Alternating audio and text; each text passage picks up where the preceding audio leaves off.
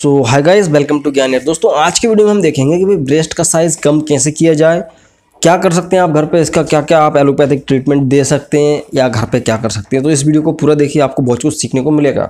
दोस्तों, जैसा कि मैंने कहा था कि भाई दो तरह के ऑडियंस है। कुछ ब्रेस्ट साइज़ बढ़ाना चाहते हैं, कुछ कम भी करना चाहते हैं तो आज हम बात करेंगे पूरा कि भाई कम कैसे किया जाए। तो यहाँ पर दोस्तों, कई तरह की महिलाएँ ऐसी होती हैं, कई महिलाएँ बोल सकते हैं कि जिनके ब्रेस्ट का साइज़ कुछ ज़्यादा ही बढ़ जाता है मतलब कि बहुत ज़्यादा बढ़ जाता है।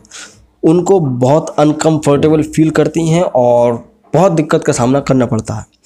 तो इस स्थिति में क्या किया जाए? देखो भाई, पहले तो इसके कारण समझ लो कि भाई इतना बढ़ कैसे जाता है? ज़ाहिर सी बात है, इसमें जो है अनियमित लाइफ स्टाइल और ज़्यादा खान पान फैट के कारण बढ़ जाता है और कुछ हार्मोनल चेंजेस की वजह से बढ़ जाता है। सो so, ये वही है कि जब आपके कम हो रहे थे साइज़ सेम यहाँ पे उल्टा अपोजिट आप बोल सकते हो कि भाई फैट बढ़ गया और हार्मोन्स का चेंजेस हो गया बॉडी में। और तो और यहाँ पे एक फ़िज़िकल कारण ये होता है कि महिलाएँ जो हैं ब्रा नहीं पहनती हैं।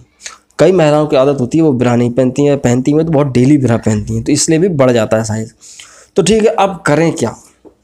अब हम कर भी क्या सकते हैं? तो यहाँ पे आपको कुछ नहीं करना है। किसी भी महिला के जिसके ब्रेस्ट का साइज़ ज़्यादा है तो सबसे पहले उसको क्या करना? टाइट ब्रा पहनना शुरू करना पड़ेगा।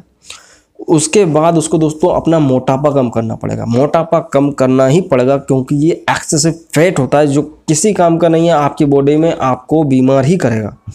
तो फैट को कम करने के लिए आप एक्सरसाइज कर सकते हैं। एक्सरसाइज नहीं कर सकते तो आप जिम जा सकते हैं। जिम नहीं जा सकते तो आप स्विमिंग कीजिए। आप पानी में जाके तैरिए, नदी पर जाके तैरिए स्विमिंग पूल में जाके तैरिए।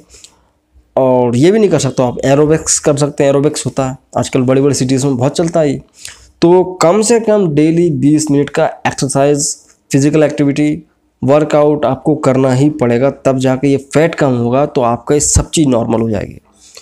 वहीं बात की जाए दूसरा कि भाई, अगर बहुत ज़्यादा ही बढ़ गया है, आपको ब्रा भी फिट नहीं आ रहा तो आप यहाँ पे बेलाडोना जो प्लास्टर्स होते हैं बेलाडोना प्लास्टर्स आप लगा सकते हैं, उनका यूज़ कर सकते हैं, उससे बहुत जल्दी चर्बी कम होता है। तीसरा यहाँ पे दोस्तों है कुछ मेडिसिन जो कि है एक्ोविरियन का इंजेक्शन ये एलोपैथिक दवाई है, अपने मन से यूज़ नहीं करना डॉक्टर यूज़ करेगा। जानकारी के लिए बता रहे हैं। तो एक्वाबिरोन का इंजेक्शन आता है। एक्वाबिरोन क्या होता है? एक टेस्टेस्ट्रोन होता है, ठीक है ना? तो ये हार्मोनल चेंजेस को आपको ठीक करना है। तो यहाँ पे ये क्या करता है? ये टेस्टिस्ट्रोन के सीक्रेशन को बॉडी में बढ़ा देता है महिला की। तो यहाँ पे क्या होता है? वो श्रिंक होने लगता है। जो भी ग्लैंड्स होती हैं ब्रेस्ट ग्लैंड्स बोल सकते हैं आप, वो श्रिंक होने लगती हैं, छोटी होने लगती हैं।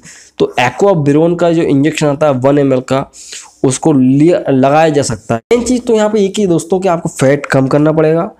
और रही बात हार्मोन्स की तो हम इसमें हार्मोन्स रिप्लेसमेंट थेरेपी दे सकते हैं। लास्ट एंड फाइनल दोस्तों, यहाँ पे आप घर पे क्या कर सकती हैं, महिलाएँ, जो अलसी होती है ना, जिसको फ्लैक्सीड बोलते हैं, बहुत कॉमन है, बहुत फ़ेमस भी है। तो इसको आप सुबह शाम चबाइए, इससे क्या होता है, ओमेगा थ्री आपकी बॉडी में पहुँचेगा। तो फैट रिड्यूस होगा। आपको चबाने में दिक्कत आती है, उसको आप पीस के रख लो मिक्सर में ग्राइंडर में पीस लो और सुबह शाम एक गिलास पानी में घोल के पीना है।